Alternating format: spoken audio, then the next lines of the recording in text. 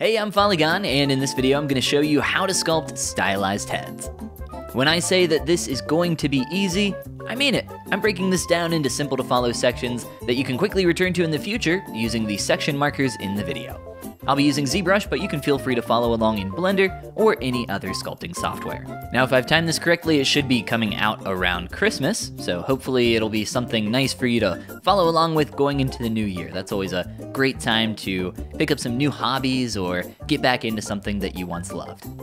One quick note that I always like to do in all of my tutorials before I start, you will notice that I do have a custom user interface here in ZBrush. I have custom pop-up menus, I have custom brushes, hotkeys, all sorts of fun stuff. Anytime I use any of that, I will happily let you know where you can find it in the default ZBrush user interface. And I'll try to keep things as software agnostic as possible to make sure that you can follow along in things like Blender or anything else that you like to use. We're going to be creating this character here, and I'm going to be placing them in the top left-hand corner of my screen pressing Shift S on my keyboard. If you want to get rid of that, it's Control N, or you can go up into the layer menu and of course click on clear. If you accidentally drop things to your canvas, it can be a bit of a hassle, so that's how you get rid of those. But let's go ahead and get started now with the basic shapes of this character. So I'm clicking up here, finding a sphere 3D, and then clicking on Make Polymesh 3D. I'll go ahead and even refresh this section just to keep things nice and clean. Okay, we have our sphere selected and we're ready to sculpt on that as a quick test. Just making sure things are working for us. I'll hit X on my keyboard to activate symmetry. And let's go ahead and grab a material and color for us to get started. Now I'm using the Zebro paint material and you can change your material over here. I'm going to recommend for you though, if you don't have that, to go ahead and use the Skin Shade 4 material. It's pretty much exactly the same with some very minor differences overall. I'll be finding a really basic skin tone here for my character somewhere in the orange spectrum up in that top left corner. Anything will do just fine because we can always adjust it later. Now we do want to go ahead and apply that color and material real quick because if we change our color currently to say black, red, whatever, it will update uh, because nothing is currently applied. So let's go ahead and do that. So I'll switch back to this. That's V on your keyboard to quickly swap back and forth between your colors. And with any old brush, it doesn't matter which one. Let's just make sure we have MRGB selected up here. Crank that all the way up to 100 and click on Fill Object over here on the left. Once that's finished, if you go ahead and swap your color, you'll see now that it no longer updates. So that's kind of what we're looking for there. Okay, let's start with the basic shapes, and for that, I'm going to come over here to the right side menu and click on Duplicate. I'll be sliding this down with the Transpose tool. You can also do this with the 3D Gizmo, which is located up here. You can toggle back and forth between the two. Feel free to use whichever one you are most comfortable with. After that, I'm going to select the Move brush to find all of your brushes, you can click up here or you can hit the B hotkey on your keyboard. And if you have a lot of brushes like me, it can be a little overwhelming, so you can use the characters up here to narrow in on things like, for instance, the move brush. And all we're going to do now is start moving and adjusting this shape, making sure, of course, that you do have symmetry on. Again, that's X on your keyboard. And we're just going to create a really basic lower jaw. So this top piece here will be the skull, and this lower piece is going to be our jaw. Now if you want to change your brush on the fly like I'm doing, I'm pressing the space bar, but I believe you can also press S on your keyboard, and if you need to, you can always come up here to the top of your screen and adjust it that way. So lots of different ways to go about the process of changing your brush size. Additionally, if things are getting a little warbly and messy, you can always hold down shift and smooth out your shape with your smooth brush. All right, so what we're looking for is something pretty similar to what I have going on here at this time. We will adjust this further in just a moment, but I think that's good enough for now, so let's go ahead and get a neck appended onto this shape here. For that, we're going to come over here to our right side menu one more time and get rid of that accidentally duplicated piece. Instead, we're going to click on Append, and we're going to find a cylinder 3D. Let's grab that cylinder. I'll just click on it over here. If you want to hot swap between subtools, you can always alt click on them directly on your screen, but we'll be saving that for later. Let's move to the side. Of course, symmetry is always on X key for our keyboard. And let's scale this neck down into place. So a simple cylinder. Again, feel free to use the 3D Gizmo if you're more comfortable using that tool. it will not matter whatsoever. Both tools will get the job done just fine. I'll go ahead and use it here for just a moment to scale that, rotate it from the side, and move it uh, roughly here into place. Now, if you notice over here in our sidebar, you'll see that we have the paintbrush icon turned on for these two objects, but not this one. So that means that we need to go ahead and apply that color and material. If you remember, that's MRGB and fill object. After we're done, I'll go ahead and turn that off. I don't really want that on for my move brush. I don't want that adjusting the paint. If you have another brush like a standard brush or maybe a paint brush, you can use that for quickly applying paint and set up a hotkey to quickly swap back and forth between the two. But let's not get too far ahead of ourselves and go ahead and append another object. Once again, a sphere 3D, and this is going to be the basic representation for our ear. So we can't see it right now because it's overlaid on top of the other sphere, so let's slide it off to the side. I'll scale this shape down. I'll use the transpose line, I'm just a little more familiar with it. I've been using it quite a long time. And I'll slide this into place on the side of the head. And we want to mirror that over to the other side. I have this hotkey or hotkey menu set up to where I can very easily find that. I'll show you where you can find that in the default menu here, which is in the geometry palette. And you want to scroll down to modify topology. Click and open that up, and then go ahead and select mirror and weld. After you're done, hit X on your keyboard to turn your symmetry back on. I'll close that for now. And we want to adjust the shape of our ear because ears are obviously not round or spherical in nature. So to do that, there are a couple different ways. Uh, one of my favorite ways to go about that is to just snap my view to the top as I've done here. So I'm moving my camera and holding down the shift key to snap. And then I'm going to take my transpose line, and you can only do this with the transpose line. But what we're going to do is click in the middle of our sphere, draw out our line like so, and hold down the shift key. When we do that, it will snap to the vertical axis like this. And as long as the move operator is selected up here, when we click in that middle circle, it will clip the geometry. So this is a really nice, fast way if you're using the transpose line a lot to quickly get in there and clip some shapes to get some interesting effects rather fast. Uh, that is one way of many to go about that process. If you know something that's easier for you or something that you're more familiar with, please feel free to go about using it, however you are more accustomed to. All right, with the move brush, I'll just go ahead and adjust the shape a little more. And I'll go back to my transpose line here from the top and just squish this shape a little bit, again using move. You can also use your move brush as we've been using here the whole time. We're going to be using that move brush quite a lot as we continue forward. Let's rotate this shape back a little. The ear isn't sticking perfectly straight out. That always feels a little awkward. So we'll get our shape somewhere about there, maybe a tiny bit lower. Something like that feels pretty nice. Oh, and of course we do need to apply our color and material there. So I'll click on Fill Object with mRGB turned on. Now, if for some reason you accidentally lose this color and you can't get the exact same color back, don't worry about it. All you have to do is hover over another object with the color you want, and press C on your keyboard. So after you do that, it'll sample the color, and then you can click on Fill Object again. Okay, we still need to append two more basic shapes here, one for the nose and one for the body. We'll go ahead and do the body from here. It's pretty easy for us. If you want to know a nice little trick for uh, getting your subtools a little more organized, I'll select the neck. And instead of clicking on Append, I will click on Insert. So now when I insert a Sphere 3D, it will put that sphere underneath of the neck as, uh, as opposed to append, which will throw it to the bottom of your subtool list. All right, let's slide that down. I'll go ahead and very quickly apply the color while I'm still thinking about it, since we just did that. And I'll slide it into place, X on our keyboard for symmetry, and I'll use my move brush to just very quickly squash that from the side. And from the front, I'll kind of get this tapered shape that we see over here in our reference. Don't worry about the proportions lining up and being exactly the same. That is not necessary, but if you'd like to spend some extra time working on it, you can of course always, you know, align it with the image that I have here and try to get it to be exactly the same. Our goal is not to create the exact same character here, but rather create something new and relatively close while being similar in style. Okay, if you've gotten here, you've done the hard part, and that is just focusing on the basic shapes. From here, we're actually going to adjust our forms a little more and start to just get things to be a little more clean and appealing.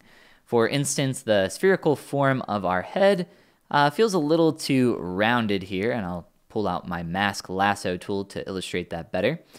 Uh, a little too rounded here on the front, so we're going to flatten that out and give ourselves uh, a couple additional shapes for things like the eyes and uh, uh, some of the flatness for the side of the head, as well as a couple other areas uh, as we work on that here for just a little longer. So let's pull down with the move brush, maybe flatten in from the side a little bit from the front.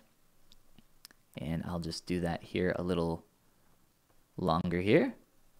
And we don't need to make a ton of changes. It's going to be really, really simple stuff.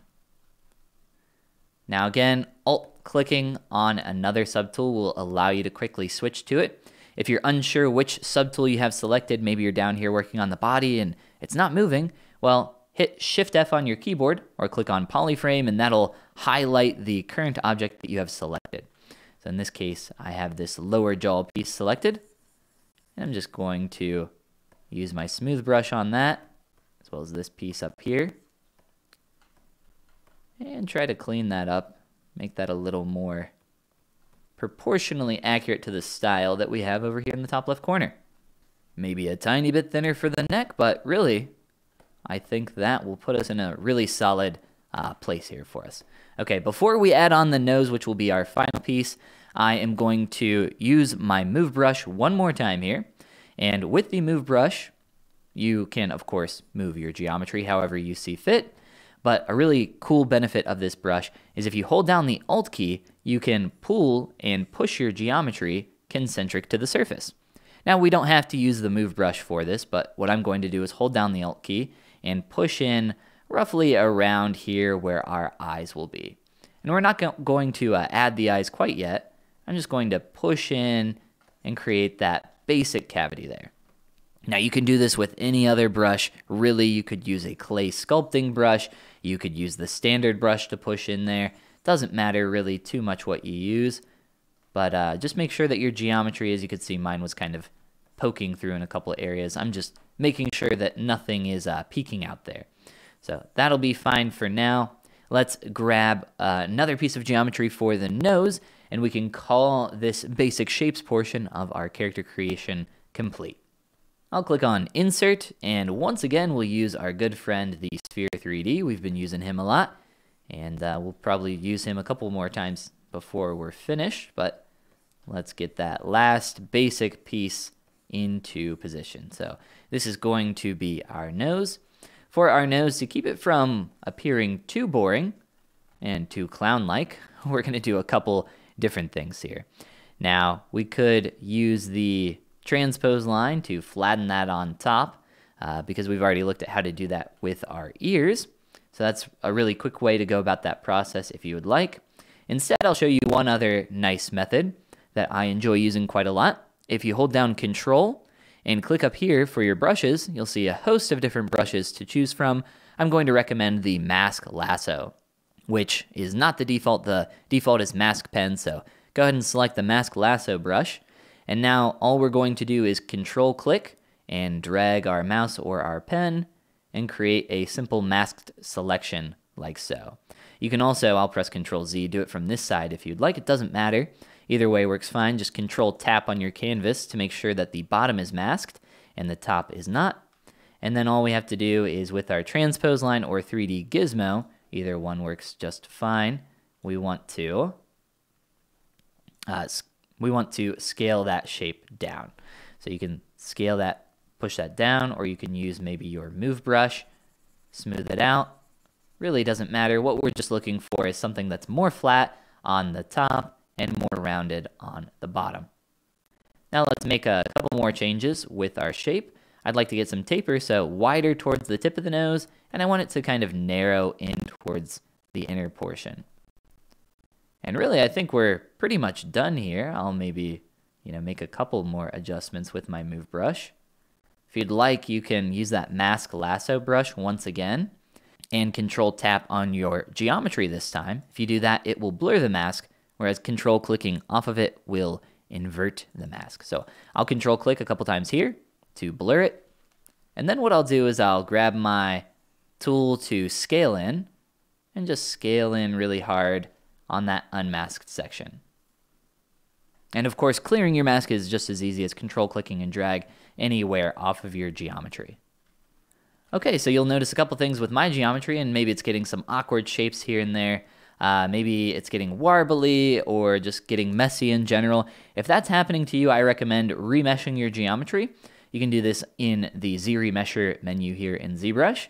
And what I recommend doing is cranking that number all the way down as low as it'll go.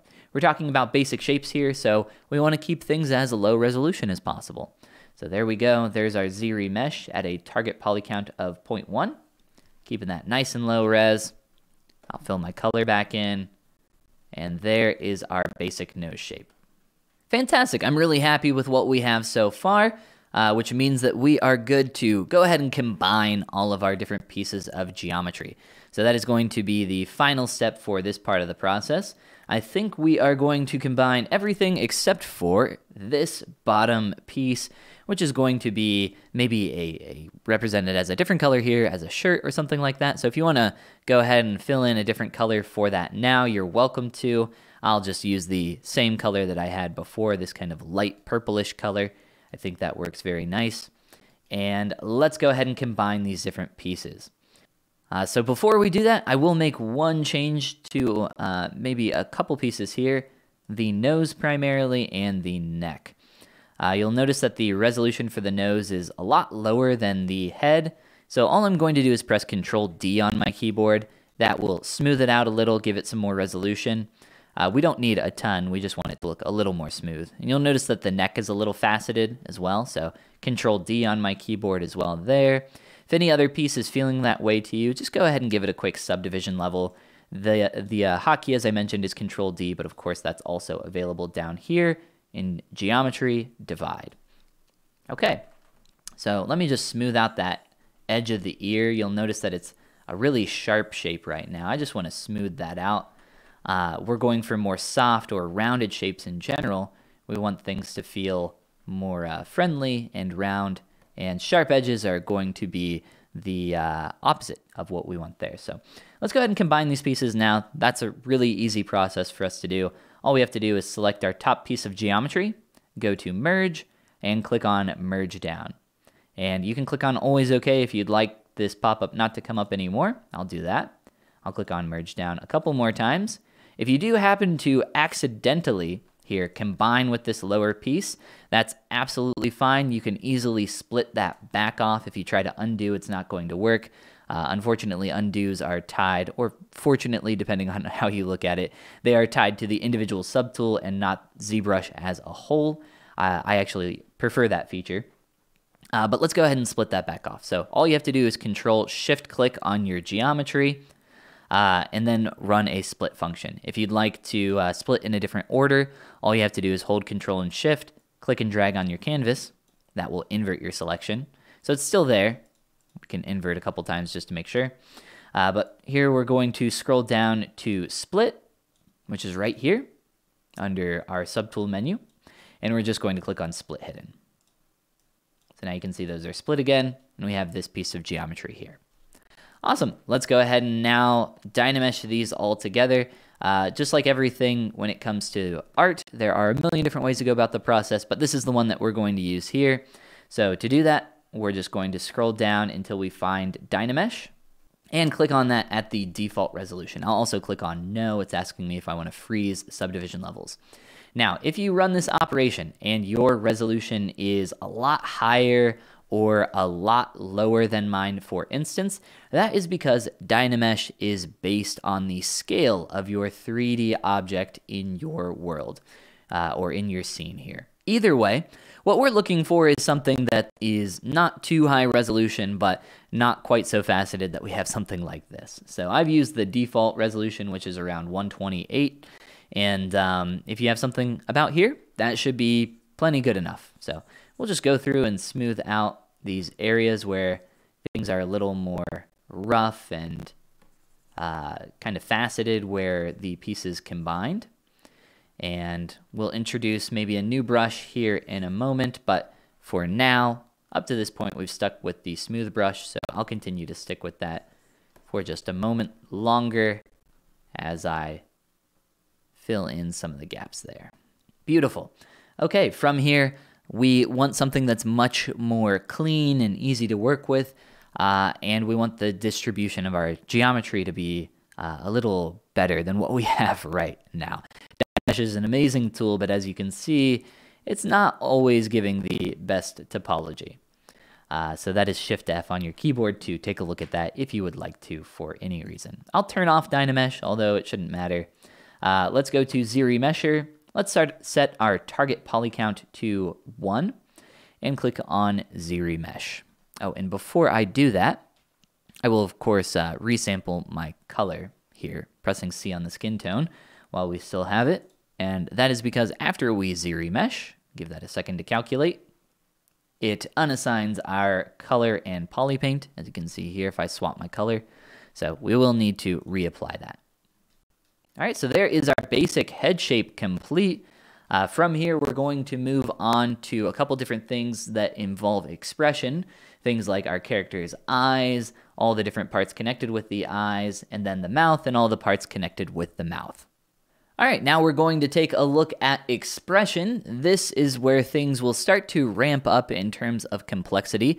Up to this point, if you've been following along, we've really only been using one brush, the move brush, and uh, the transpose slash 3D gizmo, if you count that as a brush, but more of a tool than anything.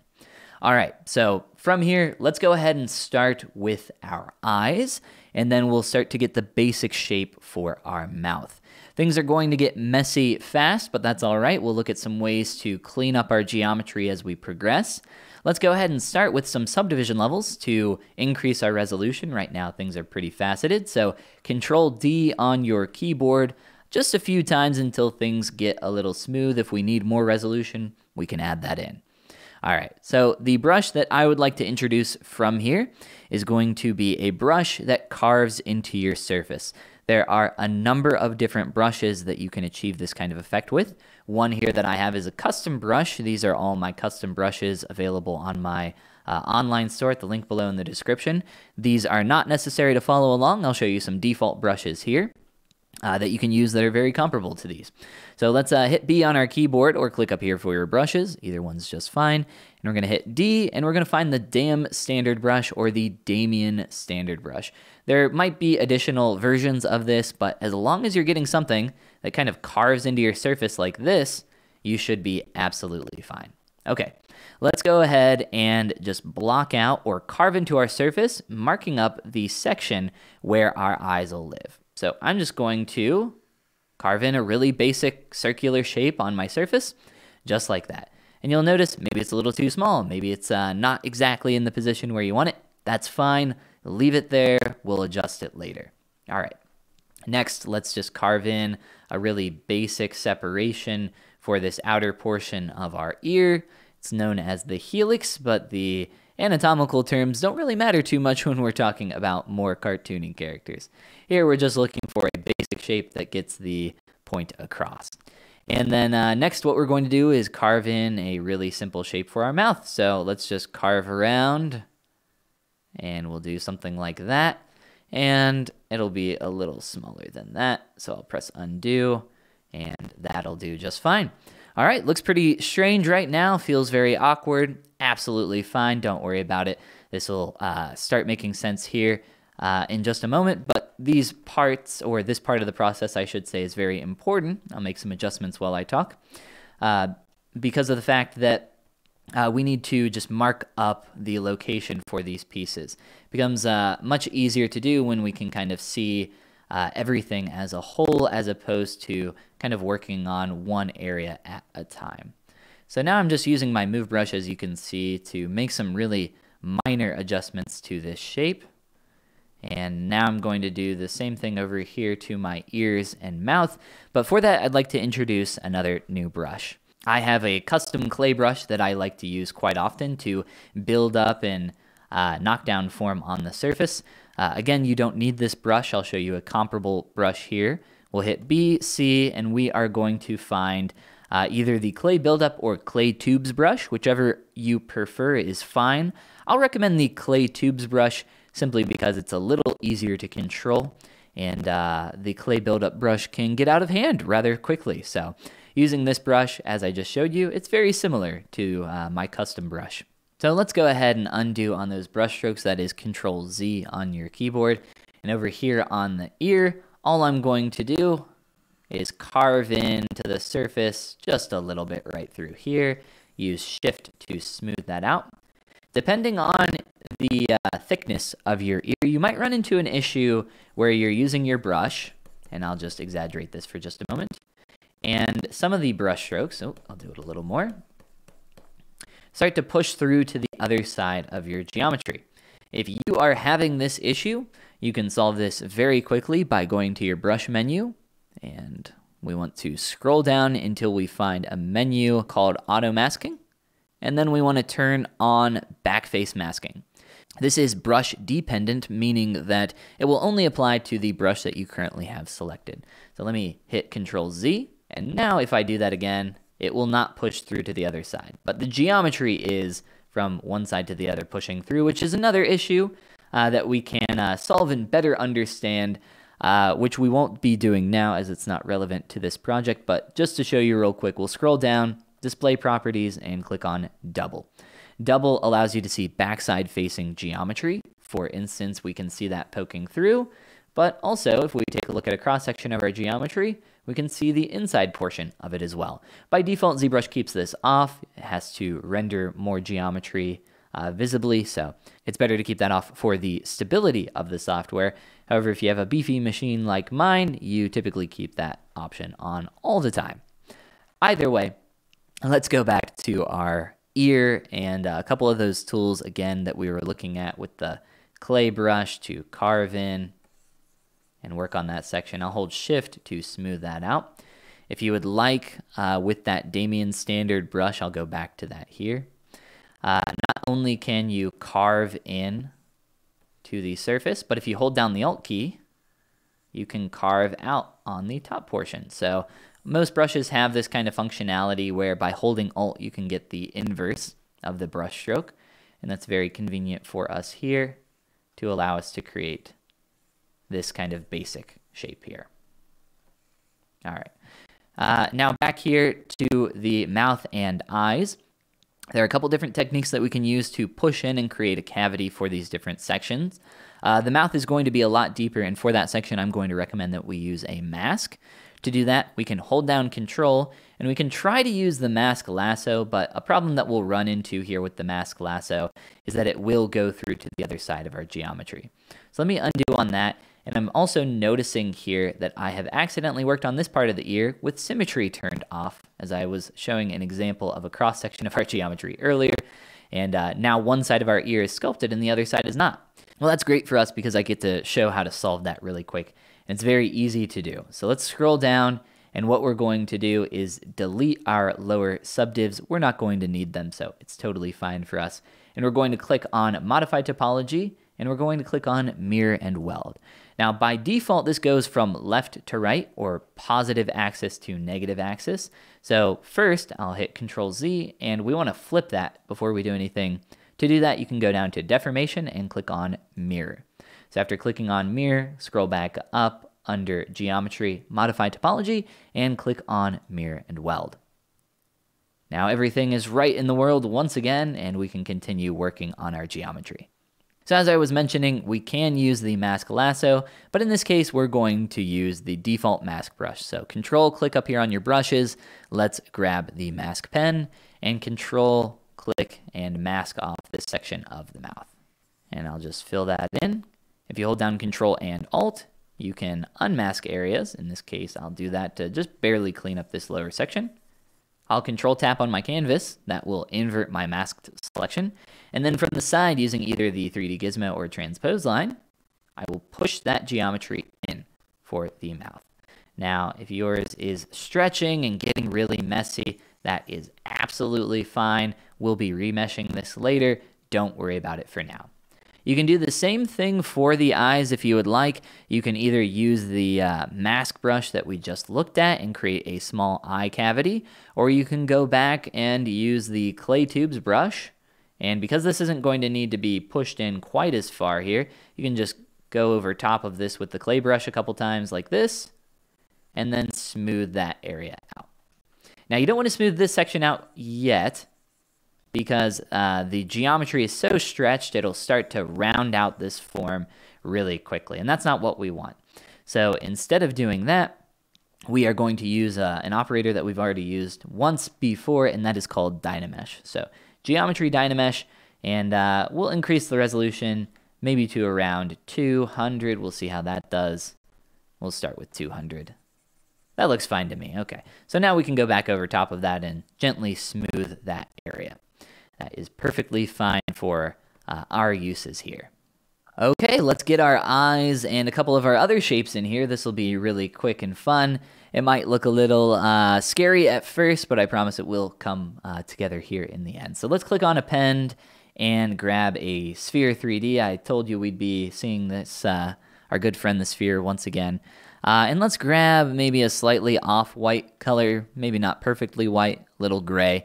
We'll click on Fill Object, and you'll notice we're using the exact same material for everything. ZBrush Paint if you have it, and Skin Shade for if you don't, uh, which is a default material. So in other tutorials, if you've seen my stuff before, I'll mention keeping the pole, this top point, facing forward for our sphere. In this case, it's actually not going to matter for us. All we want to do is make sure that we keep our sphere spherical until we get it into position. I'll mirror that over to the other side. I've shown you where that is. It's down in the Geometry Modify Topology menu, Mirror and Weld. In this case, we got a little bit of a weird issue there, so let me slide out a little to the side, Mirror and Weld. If you're interested how I'm hiding and showing geometry rather quickly, that's because I have a hotkey set up for it that toggles this option called Solo Mode down here. Very nice little toggle for you for uh, checking on your geometry. All right, Let's get this sphere into rough placement here. And you'll notice they're kind of bugging out from the face a little too much. So let's uh, flatten this. So from the top view, I'll turn on transparency. And what I'm going to do is just draw out my transpose line roughly at an angle perpendicular to the surface. And all I'm going to do is with move, hold down shift and squash this spherical shape for my eye. Now, a little trick here. Oh, let me rotate that a little and maybe just pull forward on uh, this outside section of the head. Get that aligned a little better. There we go. Uh, a little uh, sneaky trick here with these eyes is that we don't actually care about them being, you know, perfectly round. Really, you can only see the section that's going to be uh, protruding uh, here in the front. So you are absolutely fine to use your move brush and go crazy on these, make any adjustments you would like. I'm going to try to keep them a little more um, concentric here. So what I'm going to do is just use my uh, rotation tool with the transpose line. But you are absolutely fine to do that. And the reason for that is because we are just going to paint directly on top of this with a black color or somewhat off black color for our pupil pupil iris kind of combo here. And all we're going to do is paint a sphere, or a, sorry, a circle right through there. Now you notice the resolution is a little too low. So let's control Z and just add in maybe a subdivision or two or three. You can see I'm going all the way up here to a million polys. That's quite a lot. You don't necessarily need to go that high. The uh, resolution of your poly paint, hence the name poly paint, is based on uh, the resolution of your polygons. So something to kind of keep in mind there. And let's maybe get that a little better in terms of placement right about there. Now, if you take a look at this, it's going to be feeling very awkward because we don't have things like the eyelashes, the eyebrows, all the different shapes here for the mouth. When you begin working on expression, things feel uh, very odd. So try to get past things feeling awkward at this stage and uh, just focus on getting through these different parts, this kind of section that we're adding here. Okay? Let's continue forward with uh, a couple more shapes. I'm just adjusting the form around my eye. We'll keep that nice and soft. Next, we're going to add an eyebrow. Uh, there are a number of different ways to go about this process, but I'm going to show you something new in terms of tech that we haven't looked at yet. So let's duplicate our geometry for our head. It should look something like this in terms of your subtool list. And what we're going to do is use our mask pen once again. So if you use your mask pen, it should draw out a shape like so. All we're going to do is draw out a basic eyebrow shape something similar in terms of what we have over there. Don't worry about it being perfect, just something like this should do just fine. Okay, when you're done, uh, let's turn on Shift F or Polyframe over here. Control W on your keyboard, which is a really handy hotkey for converting a mask into a polygroup. If for some reason you don't have that default hotkey, you can scroll on down here to the masking menu and you can click on Group Masked. Now, when you do that, you'll have to, of course, control click and drag to clear your mask. Uh, the control W hotkey is maybe a little nicer and faster. It just saves you a click or two. But anyway, all the same here. Let's control shift click on this new polygroup. When we do that, it will hide the geometry for everything else. We get to see our nightmare creature once again. Uh, let's scroll down and we'll find our modify topology menu. We'll be using this menu quite a lot as we continue here. And we'll click on delete hidden. So that will just hide our, or sorry, delete our hidden geometry, which is nice because now we just have this piece here.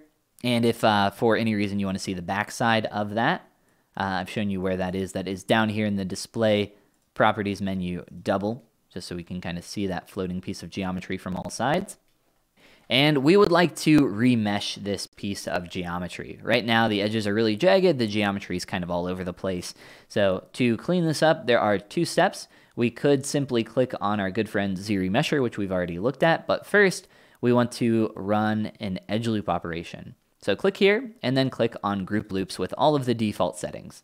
That will be just fine, and that will make our ZRemesher now, when I click on this at a relatively low resolution, I'll try 0.1, It'll make the geometry much cleaner than if we had not done that. Now, you can see that the edge here is not perfect. I'm getting some weird uh, geometry here and there.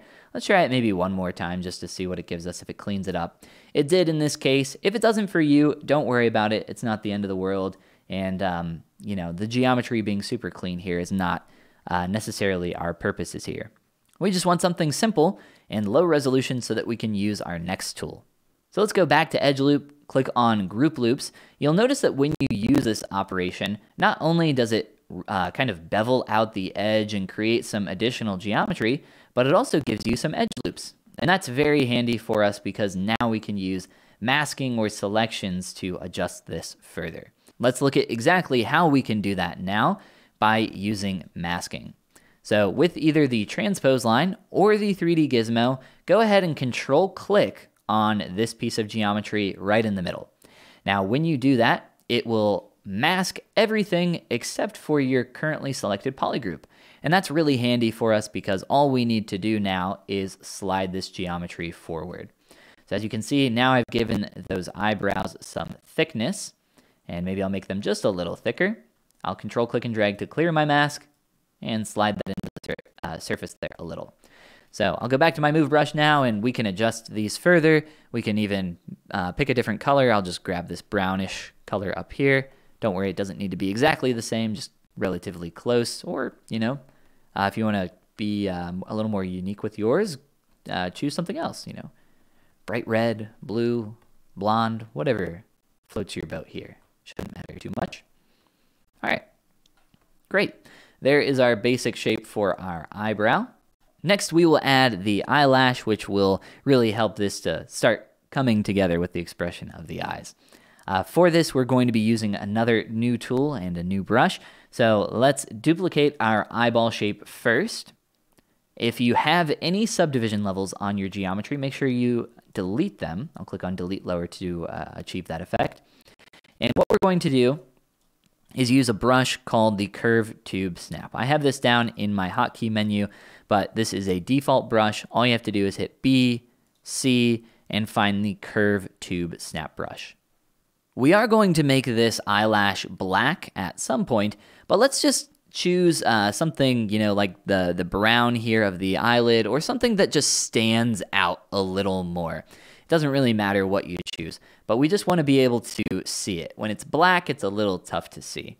So from here, I'm going to click and drag this curve around my eyeball, just like that. That looks fantastic. Let's decrease the size of that. The way you do that is go up to your draw size for your brush and just decrease that down a little, maybe about there. Click to update that. And that looks pretty close to what we're looking for. But now we obviously need to introduce the taper of this shape. So it goes from small to big to small. And to achieve that, you can open up your stroke menu. So let's grab stroke. If you'd like, you can click and drag this and dock it on the sidebar. Doesn't really matter. Whatever's easiest for you. Let's find our curve modifiers and click on size. Now, if we go over here and click on our geometry, it will update that. And that's close to what we're looking for, but not quite. So let's click on this curve fall off here. All we're going to do is click and drag up on the middle and click and drag down on this bottom corner. Now, if your uh, curve here gets messed up for any reason, you can always reset it and continue to play with it. But that's the basic shape that we're looking for. So click to update. That looks pretty close to what we're looking for. Let's maybe not go quite so thin on the bottom. Maybe about right there. I'll click to update. And that's starting to look much closer. All right, I'll go a little thinner there. Beautiful. All right, I'm very happy with that. So I'll close that and I'll even undock this. We don't need that menu any longer from here. Uh, and you will see that there is one other thing here in the way. It is this curve. Uh, the way you get rid of that curve, because now if we try to adjust our geometry, we're going to have a lot of issues. We need to delete this curve. So to do that, just click anywhere on your geometry that's not your curve. That will delete it as long as you have a curve brush currently selected. If you are not able to delete it that way for any reason or you're having some issues, you can of course also delete it from the stroke menu under, I believe, the curve functions menu here where it says delete. Okay, now if you remember, we did insert this curve on top of our eyeball or our duplicated eyeball. So we need to delete that extra geometry. And if you remember how to do that, that is simply control shift clicking on our curve. So we hide our other eyeball, we hide that piece of geometry, and then we go down to the modify topology menu and once again click on delete hidden. I'll use my quick menu here this time. Okay, it's a little easier to see because it's brown, so let's just use our move brush and adjust that shape as we see fit. Once you're happy with it, you can go ahead and fill in that black color. And I'll just adjust mine ever so slightly here with my move brush. And if you'd like to smooth out your geometry, you can, of course, add subdivision levels to that. I'm going to recommend that you use something called a smooth subdiv modifier, uh, or in ZBrush language, this is called a dynamic subdiv. So you can just click here and click on dynamic, and that'll smooth out your geometry as if it were being subdivided. You'll see that the uh, geometry count is not changing. That is, of course, also the hotkey on your keyboard, D. D and Shift D to to uh, toggle on and off. Okay, I am now simply going to adjust this shape to be a little closer to more of that cutesy style that we have over there on the left. And that's actually pretty close to where I want that. So we'll come back and adjust maybe more later. But for now, I'm happy. So let's continue on with more of the expression for this character with the mouth. By now, you should be extremely familiar with the process of appending geometry, and that is exactly what we're going to do here. So let's click on Append Sphere, and we'll take our sphere, and slide it down into the mouth. And this is going to be the basic shape for our tongue. And I'll just scale this down rather quickly, get it into position, and I'll grab kind of a pinkish color here. And just squash that down into the mouth. All the uh, faceted geometry here is kind of making our mouth look uh, a little more like uh, they have some wrinkles. It's kind of aging the character a little. As I mentioned earlier, try to ignore some of the messiness for now. If it gets uh, too frustrating for you, maybe spend a moment to just clean it up, but we'll ignore most of it. It will come together here in just a moment after we get our teeth in, uh, which is the next piece of geometry we are going to add, uh, which is going to be uh, very similar to what we just did, but instead of appending uh, a sphere, we are going to append a cylinder. And for the cylinder, I'll select that, X on the keyboard for symmetry. I'll just fill that in with a white color, as we've done so many times up to now. And I'm just going to scale that in and then scale down. So I'm just getting something a little easier to work with. It kind of fits here inside of the mouth. And then with my move brush, I'm just going to pull down on that, maybe make it a little smaller. And just like that, our expression is very quickly starting to come together. I'll slide this into the mouth a little. I maybe squashed it down a little too much, made it too, uh, too narrow. But I think that's fine. Okay, from here, we want to adjust our geometry to kind of clean it up a little. As I've mentioned up to this point, it's been a little messy and maybe for some of you a little difficult to work with. Uh, we want to do this before we add any paint to our character, uh, which is what we're going to do in our next step. So consider this the final part before we go ahead and move on to that. Okay, to do this, we're going to use a remeshing and reprojection workflow. This is super easy to do and something that um, if you're unfamiliar with, will uh, maybe be a little confusing at first, but it will make sense here shortly if you follow along. So all we're going to do is control click up here in our undo history at our current undo history marker. You can see for our geometry of our head, we have all of our undos dating back as far as our simple sphere. So here we are on number 218. You can see that little gray marker now. You can do this anywhere, but we do want this on the most recent position. And then what we're going to do is remesh our geometry. And I'm thinking maybe a target poly count of around 3, or in this case, 3 will be around 3000. So let's click on Z-Remesh, see what that gives us. And taking a look at those results, they're maybe not the most amazing. There's some stretching in a couple of areas, but to be honest, this is more than good enough for our purposes. So from here, we can go ahead and close Z-Remesher. And uh, you know, if you want to grab that skin tone, once again, you can. It's not necessary for our next step uh, because the next step is going to uh, involve projecting our geometry as well as our poly paint or color that we had on our face. So to do this, all you have to do is press Control D on your keyboard or click on Subdivide down here. And then the next thing you need to do is go to the projection menu, which you can find here, and click on Project History. So what we're doing by clicking on this button, and we'll click on Always Yes for this question, is projecting from our gray marker, or what is called history recall, onto our current piece. So uh, I'll press Control D and click on project maybe one more time. And I'll press Control D to add another subdivision, and we don't need to project again. We have enough information. Uh, so just to kind of illustrate that better here, I will smooth out this shape of the ear, that sharper edge that we had there. And if I were to click on Project History here, so what's happening here is any form that we have on that history recall area where we projected will project onto this position here. So this is very powerful for a number of reasons. The reason why we've done this here seems like a, a little cyclical maybe. We've gotten back to uh, exactly where we were. But the difference now is that we have cleaner topology to work with we no longer have that dynameshed geometry, which looked like this. Not only do we have that, but we also have subdivision levels, so we can step up and down through those to work on our geometry at lower levels if we need to. Uh, in this case, we absolutely are uh, going to do that. But first, let's clean up our mouth by just going through with a smooth brush and a little bit of move.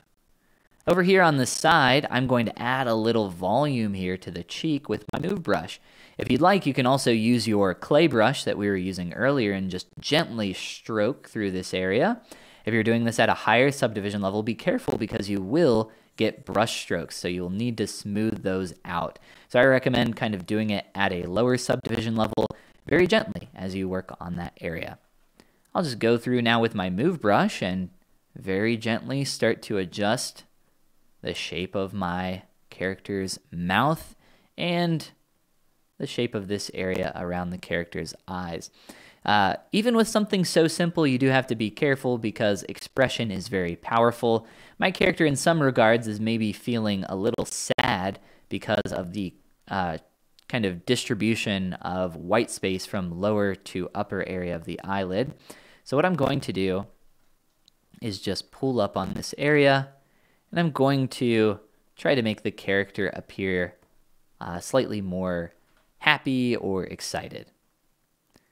And I'm going to do that just by kind of rounding out this area and kind of matching some of the proportions that I'm seeing over here a little more closely.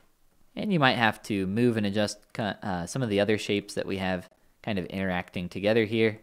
I'll simply slide the eyebrows down as well, just a little. And these ears are sticking out maybe a little awkwardly uh, in terms of their distance from the head. So I'll control click, grab the mask lasso, and I'm going to grab this area of geometry for the ear. If for any reason you accidentally selected extra, like so, you can hold down control and alt and uh, delete some of that mask. So just as a quick example for you, here's how you would go about that. Control tapping to blur the mask. And then all I'm going to do is slide that in. Fantastic. All right, I'm really happy with that. So uh, from here, you can spend some time playing with your proportions, cleaning things up further if you would like. But I think we're in a good spot to go ahead and move on to adding some paint. All right, from here, we're going to add some paint to our character. We've already done a little bit of uh, adding colors, but now what we're going to do is start to get some more variation in our skin tone and I'll show you how to do that a little more subtly, as well as this color for the inside portion of our mouth. We'll go ahead and start with the mouth because that'll be the easier of the two. And uh, to do that, all we need is a paintbrush. And luckily here inside of ZBrush, any brush can become a paintbrush. So uh, I'll just be using a standard brush. This is a custom standard brush, but I recommend that you just hit B on your keyboard, S, and grab the good old standard brush. That'll do just fine for you. And I'll go ahead and even use it myself. Make sure that you turn Z add off and mRGB on. So now when you click and drag on your geometry, you should start to get some color as opposed to uh, color and geometry or just geometry. Okay, so let's undo on that. Control Z. And let's turn off one more feature with this brush, and that can be found in the stroke menu uh, under lazy mouse. Just go ahead and toggle that off. Okay, for the inside color of the mouth, we're gonna have something a little close to the color of the tongue, maybe slightly darker, maybe a little more towards red. The difference won't matter at all. Just have something that looks close. Uh, and you can come in here and start to paint that manually, which I'm going to start by doing here. Uh, if you would like to, you can also use some masks to make things maybe a little easier for you if you want to get right up to the edge. That's absolutely fine. So play around with the different tools that we've looked at, at uh, up to this point. I'll just keep things super simple myself and continue to paint through here. And I'll get close up to the edge of the mouth. If you need to, you can now sample the color of the skin tone once again by pressing C and go back over areas to kind of clean it up. But I'm actually pretty happy with that result. And our character is, you know, getting closer to looking a little more cutesy. So let's start to add some variation to the skin tone next, which for that, we're going to grab a more red color. And you can go ahead and choose something that's extremely saturated, uh, maybe around right there where I have my cursor. Uh, and what we're going to do is very gently with our paintbrush, start to add some of this red. Now, by default, we're going to add that very strongly because of our RGB intensity. So what we want to do is slide this number way, way, way down, maybe somewhere around 15 or so. And very gently now, if you have a pressure sensitive pen like me, you can do this very subtly, but if you don't, you might want to lower this even more. Uh, what I'm going to do is just add a little bit of warmth right here around the cheek, very gently, very subtle effect. I'll add some of this here around the character's eye. I'm again using solo mode to do that. Toggle that on and off. And then I'm also going to add some of that here to the nose. And I'll just add some more of that warmth in general here to the face. And then I'll add some of that warmth here to my ear, kind of giving the illusion of subsurface scattering if you are familiar uh, with that idea at all. Okay, from here, uh, I'll show you how to knock some of this back because it's pretty easy to get a little, uh, let's say, heavy-handed with some of this paint. You know, you can get some really, really, you know, rosy cheeks here maybe. Uh, if you need to, you can sample your skin tone and kind of paint out some of that again. That can be one way you go about that process. Uh, or what you can do is just click on Fill Object when your RGB intensity is a little lower. We've looked at when it's set to 100, it just fills it in entirely. But when it's set to something like 15, it fills in 15% of that color, which helps to knock back some of your other colors, which can be a really nice way to neutralize uh, some overpainting, let's call it. Uh, in this case, I think I'm actually pretty happy with the result that I have, so I'll, uh, I'll leave that where I have it, and then maybe grab uh, a little bit of a darker red here that I can just paint right here around this lower portion of the eye, just very gently, and I'll maybe go a little darker. And I'll be a little heavy-handed with that at first, and then using my skin tone just by sampling it with the C key, I can knock some of that back again. Fantastic. From here, you can feel free to play around and experiment with some different colors. If you want to play around with your eyebrow color and try something a little different, you can do that now. Because next, we're going to add the hair to our character. Next up, we're going to add the hair, and for that process, it's just as simple and easy as what we did for the eyebrows. It's going to be uh, a very similar process here. So let's press C on our keyboard to sample the color for our eyebrow. And what we're going to do is duplicate the geometry for our head. And let's click on delete lower. We don't want our subdivision levels for this. And control click up here, make sure you have the mask lasso selected and we're going to mask out the shape of our hair. So from the front, let's just get a quick mask shape, something like that. And then I'll mask around the ear and up to somewhere around there. If you'd like to clean this shape up further, what you can do is go back to your default mask pen and control click, draw out some more of that shape, maybe control alt click if you want to carve away some of the masking. Totally up to you. I'll just do the tiniest amount of that. Oh, and we want to be careful here not to get the mask on our ear. It's not what we're looking for. Okay, fantastic. That looks pretty good to me. So same process as before. That is going to be Control W to convert a mask into a polygroup. Control Shift click to select that geometry. And let's scroll down to Modify Topology, Delete Hidden. Now, if you remember the next steps, they involve using the group loops and z-remesher function. So edge loop, group loops, and then z-remesher, and I'll set the target poly count to maybe around one. Now the shape is a little different now than what we had before with our geometry. When we had the eyebrows, they were flat and we could simply move the geometry in a single location or a single direction, sorry.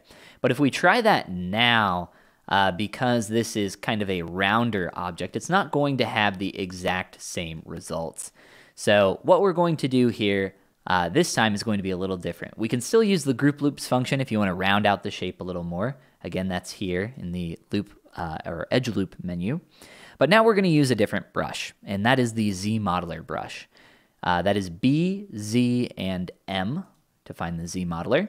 And this is a very complicated tool, and we're only going to look at one singular function for this brush. Uh, to achieve this result, what we're going to do is hover over a polygon. Uh, be very careful that you're not hovering over an edge or a point. It has to be a polygon. Hold down the spacebar and select Extrude. Under Target, make sure that you select all polygons and then let go of the spacebar. Okay? From here, what you're going to do is click on a polygon and now drag up. And that'll create some thickness for your geometry. Now you can see that I'm getting some issues down here at the corners, and that is because of the edge loop function that I used previously. Instead of going back, undoing, and trying to rectify that, instead what I'm going to do is just very quickly and easily correct this with my smooth brush. I'm just very gently going up to these spiked points and hitting those a couple times with my smooth brush, very gently. And I'll even spend some time to just use my move brush, slide that geometry back out where it's a little strange. I'm not sure why it freaked out here in this instance, but it did nonetheless. And just clean that up. So if you have the uh, wherewithal to go about this process and clean up your geometry like I've done here, you can feel free to do that if you have the same issue. But if you want to go a little faster, maybe uh, you can just undo and retry it. All right, that looks pretty good to me. So let's find our little character. Uh, the hair is maybe extruded a little too much, but that is a very simple fix for us. Uh, we can just turn on dynamic, which will smooth out our geometry. Uh, in this case, it looks like we might have got some creased edges from our extrusion or just some stronger edge loops it looks like. That is absolutely fine. What I'm going to do is hold down the shift key and very gently go over top of that edge and smooth out the geometry. I'll also use the move brush and kind of gently uh, push it into my surface, which will uh, decrease some of that thickness. And I'll just very gently there adjust the shape. Okay, I'm really happy with that. Let's fill in our color and let's add in our second piece for our hair. This will be super simple. Uh, something we've done a number of times. Insert and Sphere 3D. All the way up until the end, we still have our good friend the sphere. So let's now just slide our sphere back. We'll scale it down. We'll mirror it over to the other side, making sure that symmetry is turned on. And we'll just scale it into place. And with whatever tools you prefer using, just go ahead and adjust the shape slightly to get something similar to what we have going on over here. It doesn't have to be exactly the same, uh, just something like that. All right, so we can call the hair finished at this point, but now we want to focus on some final details. So this is just going to involve going back over top of all of our pieces of geometry and kind of cleaning them up. Uh, if, for instance, from the side view, your face is looking a little scary, we can adjust that as well. So for that, let's start adjusting some of the shapes of our character. Let me go ahead and fill that color in for the hair. And let's go through and start to make this look a little more cutesy from the side, as right now it feels a little too gaunt.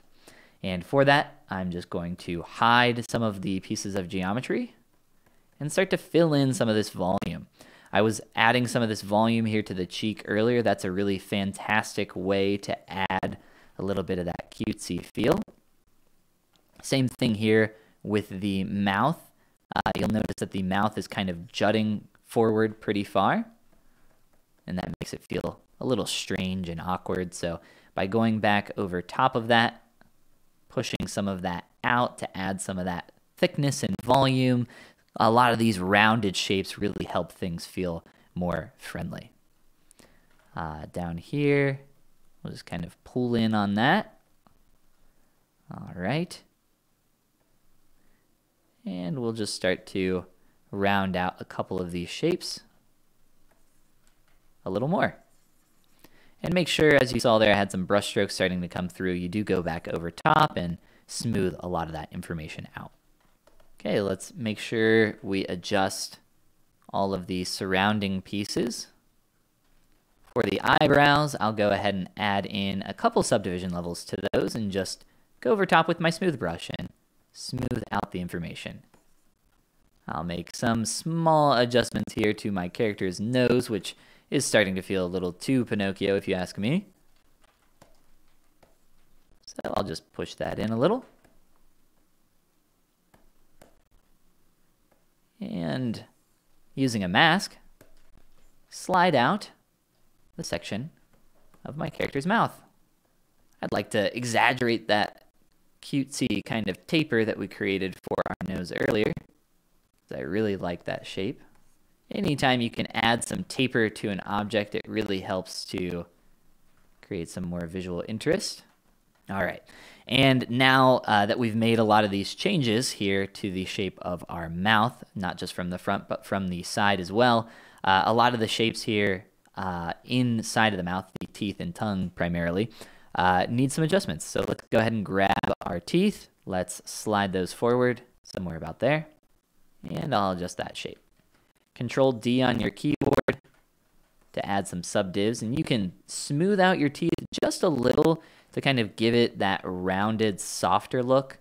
But if you do too much, you know, you don't want to create something that's just completely rounded off. That'll feel a little awkward and strange. All right, let's uh, get rid of this kind of flat panel for the back of the mouth as well. Uh, so for that, I'll just smooth out this intersection. If you'd like, you can use your uh, clay brush that we introduced earlier to kind of fill in a lot of that information and round that out. Try to pull back on that mouth just a hair more, really exaggerating that smile from the side. And the tongue as well needs some adjustments now that we push the mouth for, uh, forward. All right, just making the mouth a little more deep in the middle, kind of like hinting at a throat without necessarily going through and sculpting all of that information. Just a little bit of extra depth there will help quite a lot. All right, up to this point, we actually haven't even turned on perspective for our character, which is absolutely fine. It's not necessary to use that while sculpting at all. Uh, a lot of people have different preferences. I'll keep it off and on while I'm working and kind of toggle back and forth between the two. All right, something else we can do here uh, that might be useful for you is introduce uh, a couple more sharper transitions in a few areas. Uh, for that, I'd like to introduce really quick here at the end the pinch brush. So B and P on your keyboard, what we're looking for is just the default pinch. And this is a really fantastic brush. I'll show you how it works here very quickly on the top panel or top section of the nose. By drawing out a quick edge, we can kind of pinch off and create a nice sharp transition. I'll uh, exaggerate that even further by using the move brush. Holding down Alt will cause still a pinch, but kind of in a negative uh, direction, which can be useful for a number of different reasons. In this case, I'm using that to transition from the nose up into the top section, as well as just slightly here around the bottom. And you'll notice that I'm not creating super hard edges. I am going back over them with the smooth brush and very gently rounding them out because you know this is a kind of a cutesy, round, soft character, and we don't want extremely hard edges that feel um, robotic in nature. So it, it's nice to sometimes start with those kinds of edges, but eventually you will need to kind of go back over top of them as I'm doing here and make everything feel more organic. It's really important to, uh, to keep that in mind when you're working on your, your characters here at the end. Sharp edges can be, you know, nice for contrast, but overall, we want something soft and round. So keep that in mind as you continue forward. All right. Just making a couple adjustments here to the back of the head to make sure we have enough volume back here that makes sense. And for your hair, if you adjust the shape of your head, you might have some issues with things kind of poking through or being a little too thick in a few areas. Go ahead and take some time to kind of clean some of that up. I'll do the same thing here myself, just pushing and pulling a couple pieces of geometry around.